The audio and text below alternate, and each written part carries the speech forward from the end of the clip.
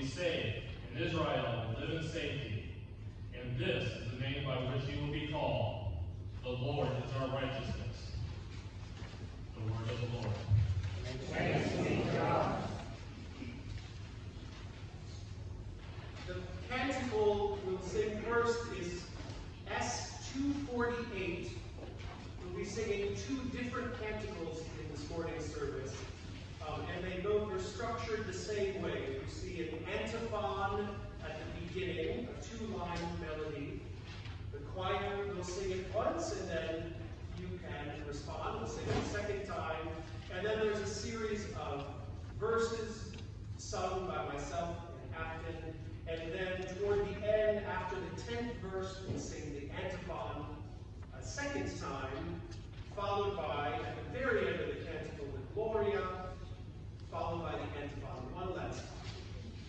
So this is S248, the Song of Sacrifice.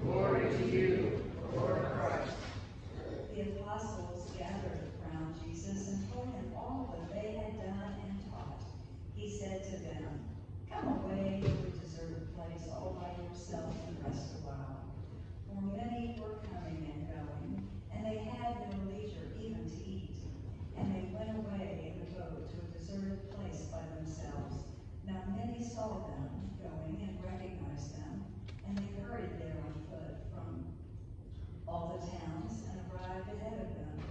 As he went ashore, he saw the great crowd, and he had compassion for them, because they were like sheep without a shepherd. And he began to teach them many things. When they had crossed over, they came to land at Gennesaret and moored the boat. When they got out of the boat, people at once recognized him and rushed about that whole region and began to bring the sick on mats to wherever they heard he was.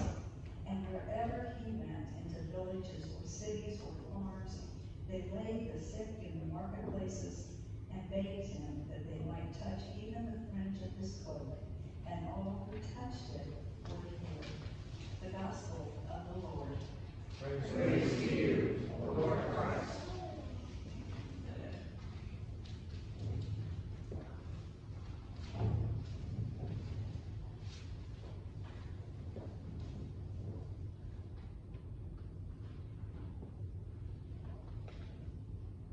In the name of the Father, and the Son, and the Holy Spirit.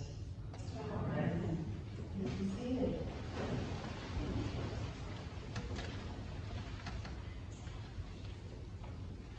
Come away with me, Jesus said to his disciples. Come away with me.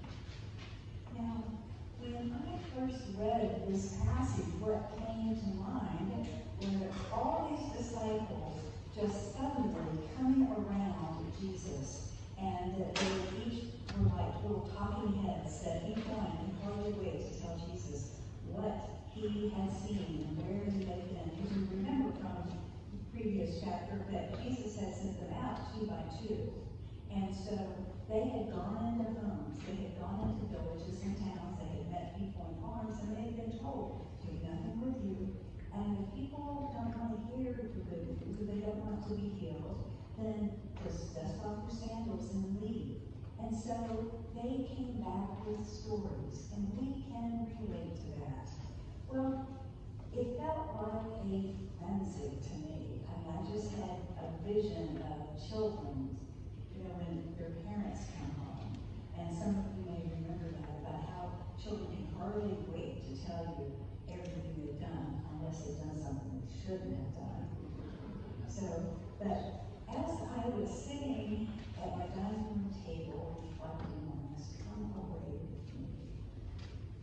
The song by Norah Jones came to mind, Come Away With Me. And if you're not familiar with Norah Jones, she is a jazz, blues, sort of folk singer. And she produced this album, I think in 2002. And I believe the album is called Come Away With Me. And um, this is not a Christian, I don't want to suggest that this was a Christian record, it's not. But that phrase, come away with me, when she sings it, it is quiet. It is gentle. It just sort of feels assuring. And it's honest. Yet, there's, to me, it felt haunting. It just, it was a haunting nature of it. And so, I looked it up online and to hear her to hear her sing it, and it is indeed when she sings it rather haunting. Come away with me. And I think that Jesus heard the disciples, not just with his ears, but Jesus listened with his heart. Jesus listened with his heart, and when Jesus heard them and saw their excitement, I sort of imagined part of him went, oh my gosh, do they think this was all up to them? Have they forgotten that it's God working through us that gives us the power? And so, but he heard them and he was pleased with them he was proud of them and he knew that they needed a rest. And And so he said, Come away with me. Well, you know, this thing about rest, oh my goodness, this is a chronic problem, not getting enough rest, particularly for, for clergy and people like you sitting in the, the pews, because there is a sense we always have to do more. We always have to do more. And you know, when we think, and when I think I have to do more, and I begin to feel myself anxious, I always need to remind myself, whoa, whoa, whoa, stop, stop, stop. It's, if God's calling you to do this, God give you the energy to do it. And I believe that. I truly believe that we've been filled with the Holy Spirit so we can go about the work of caring for the kingdom of God that God has created. And you know, I went back and looked at everything that came before chapter six and what happened in chapter six. And I gotta tell you, a lot happened.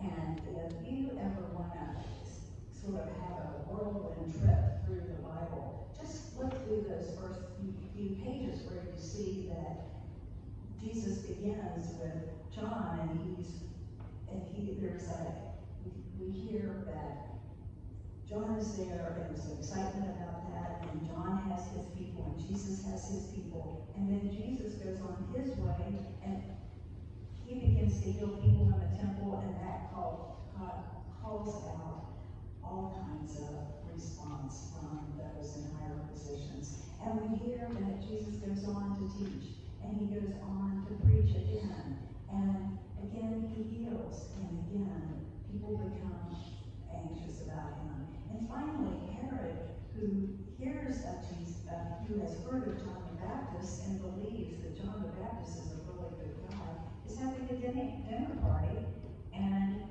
on a dare, he agrees to have John the Baptist's head, his head cut off. And, you know, as our scripture tells us, he's not even sure, is this John the Baptist resurrected? Because he had already John the Baptist before. And so this is a recounting of that story. And so we know that there is a sense that something and someone is at work. And that there is a new spirit and a new sense of community. And, you know, if you've ever been to Galilee, one of the things you know is the area is not very large. And so when people get in a boat if you're up on the mount of what they call the Mount of Beatitudes, you can see where everyone is. And if you're on the land and you're still on the water or if they're across, you can still see where people are. So when Jesus told them to get in the boat and go to the other side, people could follow them. But now between our verses that we read, two things happened. And I think it's sort of interesting because we say that Jesus had compassion for the people. And one of the things that we hear is that when the people saw Jesus and the disciples traveling to another, what they thought was a deserted space, they went. They followed him, and Jesus had compassion, and he sat down with them, and he began to teach. And it, it came, became dinner time, and so out come the five loaves and two fish, and five thousand people are miraculously fed. But the disciples are still rather dubious, like what happened? But then after that, Jesus said, okay, let's get back in the boat. And Jesus, they get back in the boat, and Jesus goes on and he can see them crossing the sea, and the wind is against them, and they're having trouble rowing. And so he walks out on the water, and the disciples in that boat, they, it's ghost. They can't believe that this is Jesus walking on the water, and Jesus says to them, Fear not. Fear not, it's I. I'm here. And he gets in the boat with them, and the disciples suddenly understand what that feeling is about. They understand how the power of Jesus can create food where there's not food, can calm the waves when the waves need to be calm, can calm the wind, and can give people peace. And people had heard about Jesus, and so they're following along. So when our um, verse starts back up, and Jesus and the disciples have moored the boat, and the people have come running. It's interesting to see that they've heard the stories. They have heard the stories of all that Jesus has done. And particularly, they have heard the story how Jesus healed the woman of her hemorrhaging. That she had so much faith that she thought if she just his robe, she would be healed. They had heard that story and they believed. And so that's what they wanted. They just wanted to be close enough to touch his robe. We too have stories. We too have stories.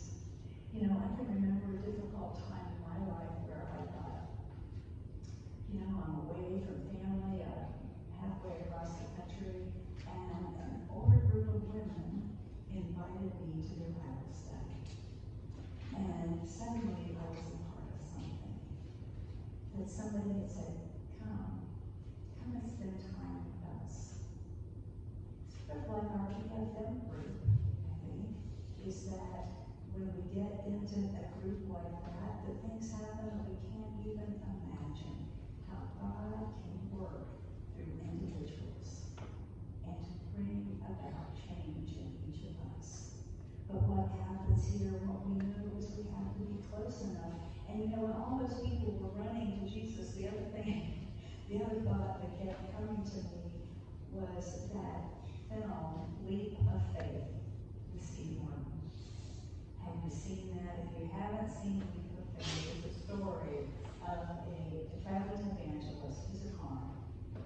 And so their um, truck breaks down in Kansas somewhere, and they start doing these healings, and with by having people who go out into the congregation or go out into the town and get to know people, he knows who the vulnerable people are, and he calls on them, and miraculously they believe that they are healed. And so he continues to do that until something happens. And I'm not going to tell you exactly what happens, but I will tell you that Steve Martin, who was who was the traveling evangelist, who was the healer, he knew it was a con until it wasn't. He knew it was a con until it wasn't. Dear people of God, we know that healing happens.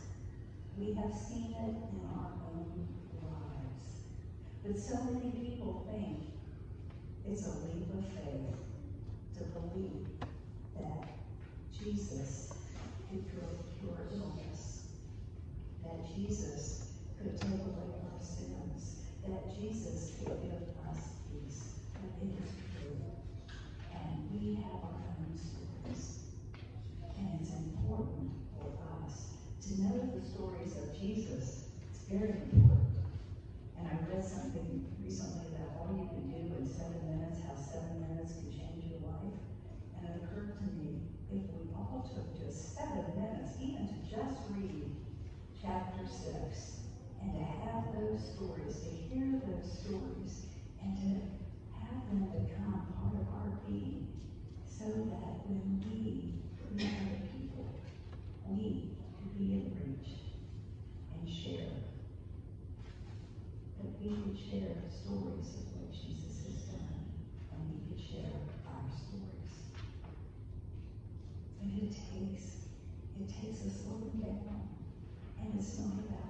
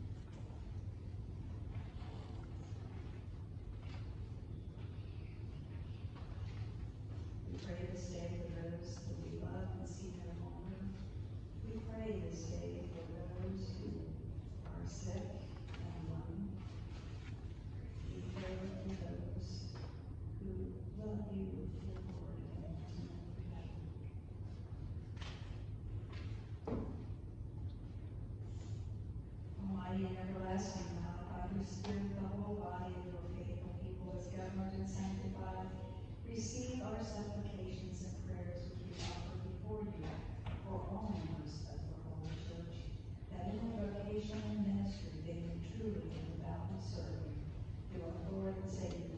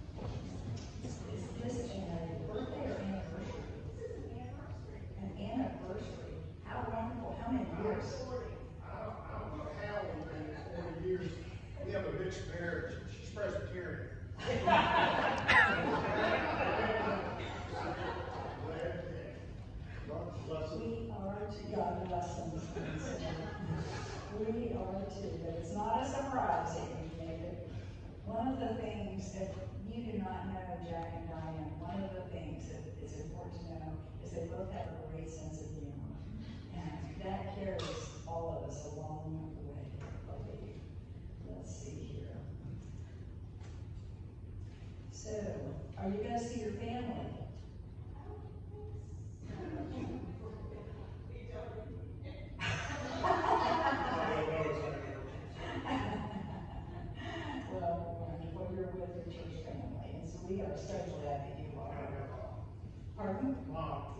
Oh, exactly. That's right. So, okay, let us pray. Oh, God, you have so consecrated the covenant of marriage that and it is represented the, children, the spiritual unity between Christ and his church. Send therefore your blessing upon these your servants, that they may so love, honor, and cherish each other in faithfulness and patience, and wisdom and true godliness, that their home may be a haven of blessing and peace Blessing of God the Father, the Son, and the Holy Spirit be with you and remain with you always. Amen. Happy anniversary. Happy 40 years.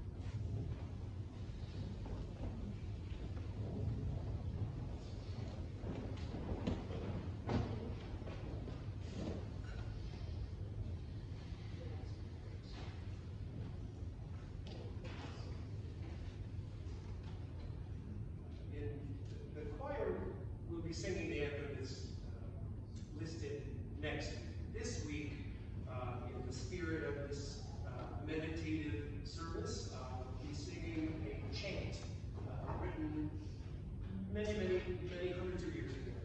Um, it's in Latin, and so I just wanted to read the text. Um, this is a, a text and a chant